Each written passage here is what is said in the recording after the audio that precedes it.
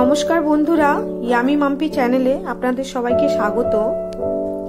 বন্ধুরা, আমি আজকে আপনাদেরকে এমন একটা ভিডিও দেখাতে চাইছি, আশা করছি সবার ভালো লাগবে এই ভিডিওটি। এই ভিডিওটি হচ্ছে বাবা পঞ্চানন্দের খুবই জাগ্রত মন্দির। এই মন্দির সম্পর্কেই আমি আপনাদেরকে ডিটেলস বলতে চাইছি। তো ভিডিওটি দয়া করে পুরো দেখবেন। আর পুরো দেখলে পরে আপনারা জানতে পারবেন এই মন্দির কোথায় অবস্থিত, কেন বাবা এত জাগ্রত, কি তার ইতিহাস, এই সম্পর্কে আমি আপনাদেরকে জানাতে চাইছি। বন্ধুরা, ধর্মের প্রতি মানুষের অগাধ বিশ্বাস ভারতবর্ষের দিকে দিকে জন্ম দিয়েছে নানান তীর্থক্ষেত্র। শুধু আজ নয়, বহুকাল আগে থেকে এই ধর্মের প্রতি টান ভারতের বুকে জন্ম দিয়েছে বহু মন্দিরের। তেমনই একটি মন্দির রয়েছে এই বাংলার বুকে, যা বাবা পঞ্চানন্দ নামে পরিচিত। এই মন্দিরে মানত করে পুজো করলে নাকি সব মনস্কামনাই পূরণ হয়। বহু বছর পুরনো বাবা পঞ্চানন্দের মহিমা শুনলে সবাই শিউরে ওঠে। এই মন্দিরটি হাওড়া আমতা ছাড়িয়ে ঝিকিরা নামক একটি জায়গা, অত্যন্ত প্রত্যন্ত গ্রাম হায়াতপুরে এই মন্দিরটি অবস্থিত। এই মন্দিরের ইতিহাস বড়ই অলৌকিক। কিন্তু কেন বাবা পঞ্চানন্দ এত জাগ্রত? কি তার ইতিহাস? কিভাবেই বা যাবেন চলুন, তা শুনে নিই।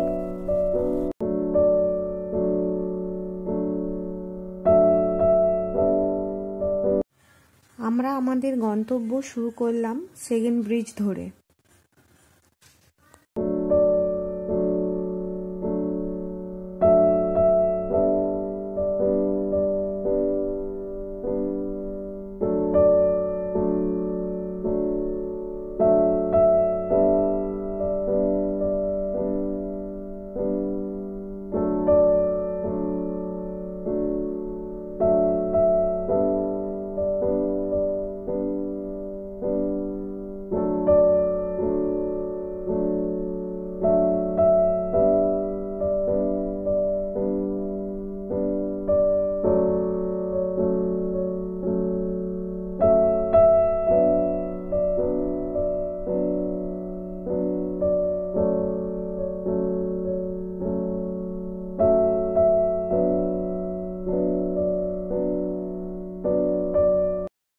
জালা ধুলিগড়ি টোল প্লাজাতে আছি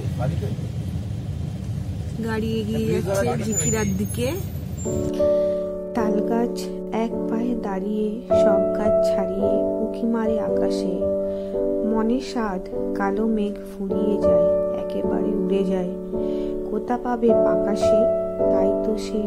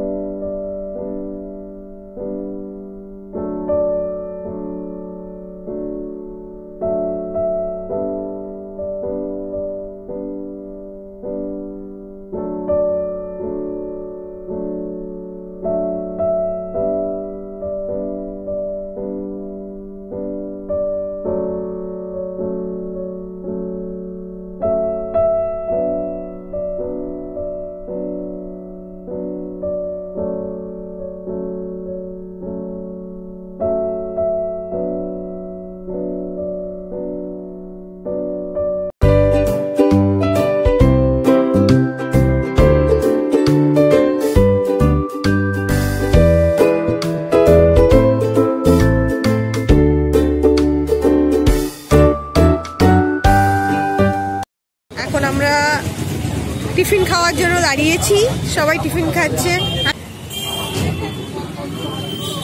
যশোদা মিষ্টান্ন ভান্ডার, আর এটা হচ্ছে শ্রী শ্রী শীতলা মিষ্টান্ন ভান্ডার। এটা ক্রস করে এবারে ন কিলোমিটার দূরে আছি আমরা জিকিরা থেকে।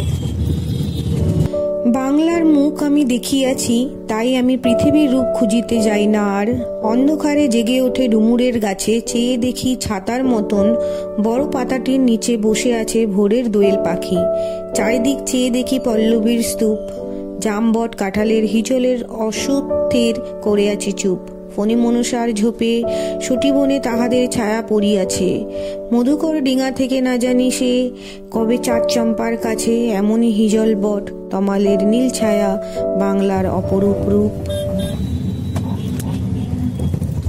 আর পুকুরের জল যদি এরম স্বচ্ছ হয় তাহলে দেখতে আরও বেশি ভালো লাগে।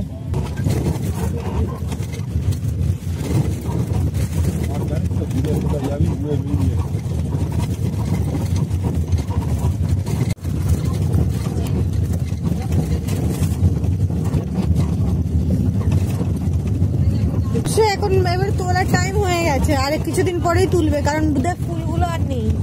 হলুদ ফুলগুলো।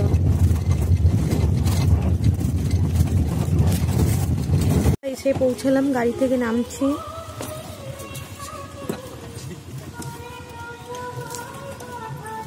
এখন হাওড়া আমতা ছাড়িয়ে জিকিরায় পৌঁছে গেছি। পুজোতলায় যাব। এখন আমরা হায়াতপুরে আছি।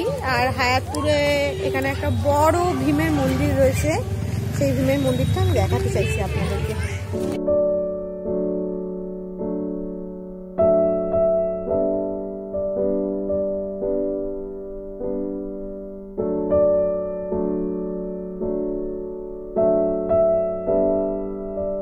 আমি ক্যামেরার মাধ্যমে হয়তো আপনাদেরকে বোঝাতে পারছি না ঠাকুরটা কত বড়। নিজের চোখে না দেখলে আপনারা ঠিক বুঝতে পারবেন না।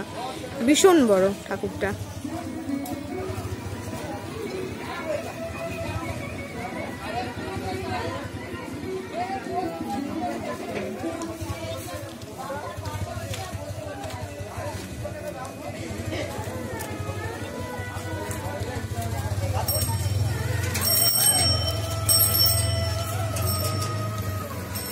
উঠেছে এখন, প্রণাম করছে।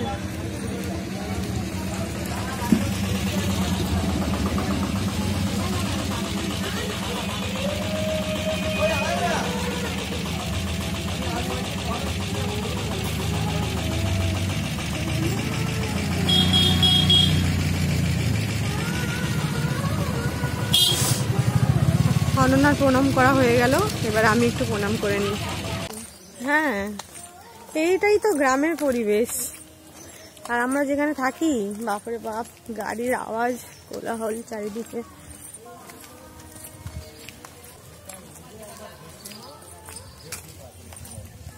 কোথাও এমন নেই দেখলাম না যে পুকুর নেই চারিদিকে পুকুর ভর্তি। দেখো গ্রামে শাড়ি বিক্রি হচ্ছে। তুমি হচ্ছে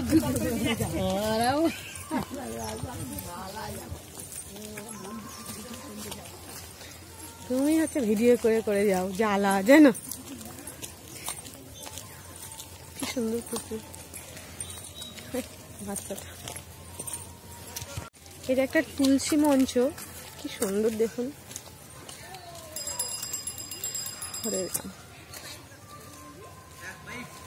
তো আমরা ফাইনালি পৌঁছে গেছি বাবা পঞ্চানন থানের সামনেই একদম বেল গাছে বেল ঝুলছে কত।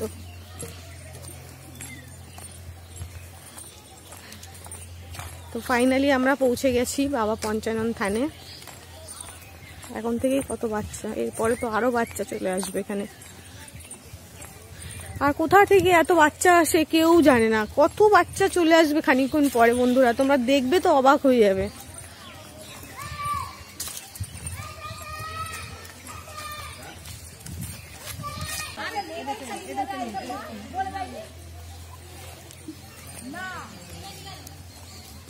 আর সবাই কোথায়? বাচ্চাগুলো? এখানে পুজো কেমন হয়? কেমন লাগে? ভালো। লাগে? প্রত্যেক বছর আসো তো? ওই বাবা ওই দেখো আর একটা পুচকে চলে এসছে।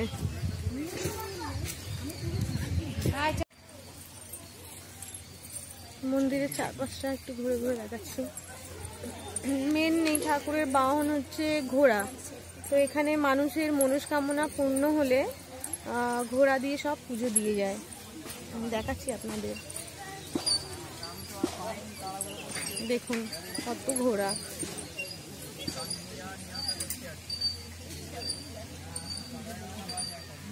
এখানে আপনারা আসবেন, মনস্কামনা মনে যা ইচ্ছা আছে আপনারা চাইবেন, আপনাদের মনস্কামনা নিশ্চয়ই পূর্ণ হবে।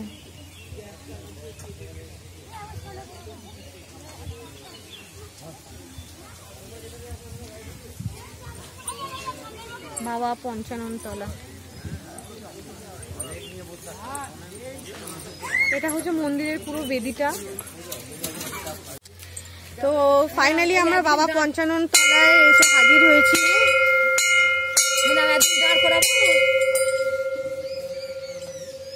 আস্তে আস্তে বাচ্চারা আসা শুরু করেছে। আরও বাচ্চা আসবে এত বাচ্চা আসবে যে দাঁড়ানোর জায়গা থাকবে না। তোমার নাম কি? বাবালি তোমার নাম কি? সোহিনী।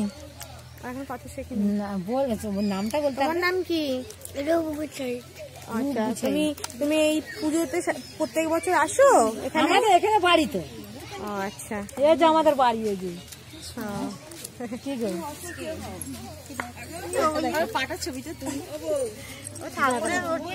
লক্ষ্মী ঠাকুরের পা। তো বন্ধুরা তোমরা দেখতেই পেলে আমরা কীভাবে হাওড়া আমতা ছাড়িয়ে ঝিকিরা এসে হায়াতপুর গ্রামে উপস্থিত হলাম। বাবা পঞ্চানন দেবের বেদি দেখালাম চারপাশটা ঘুরে দেখালাম। সবে আমরা আসলাম এখন এসে আমরা মন্দির পরিষ্কার করব ফল কাটবো পুজো হবে আরও অনেক কিছু। তো একটা ভিডিওতে সব কিছু তো দেখানো যায় না তো এখনও সম্ভব না। তো আমি পরের ভিডিওতে দেখাবো বাবা পঞ্চানন দেবের পুজো কেমন করে হচ্ছে, কত বাচ্চা এসেছে। তোমরা দেখবে, এখন সবে দেখলে এত কম বাচ্চা, কিন্তু একটা সময় হবে যে জায়গা দেওয়া যাবে না, দাঁড়ানোর জায়গা পাওয়া যাবে না, এত বাচ্চা আসবে। কিন্তু কোথা থেকে এত বাচ্চা আসে, সিরিয়াসলি কেউ জানে না। কথায় আছে, বাবা পঞ্চানন দেব নাকি নিজেই বাচ্চার রূপে এসে এখানে প্রসাদ গ্রহণ করেন। এটা অনেক দিন আগেকারের ঘটনা। এখানকারের পুরোহিতের মুখেই শোনা যায়।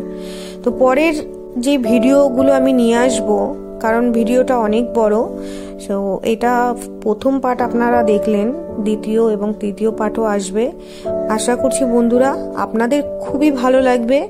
আপনারা যাবেন, আপনাদের মনে যা যা আপনারা চাই, চাইবেন ভগবানের কাছে, সে সমস্ত আশা আপনাদের পূরণ হবে। তো ভিডিওগুলো দেখতে থাকুন, ভালো লাগলে অবশ্যই লাইক করবেন কমেন্ট করবেন শেয়ার করবেন। আর চ্যানেলটিকে যারা এখনও সাবস্ক্রাইব করেননি, তারা সাবস্ক্রাইব করে নিন। যারা করেছেন, তাদের অসংখ্য ধন্যবাদ।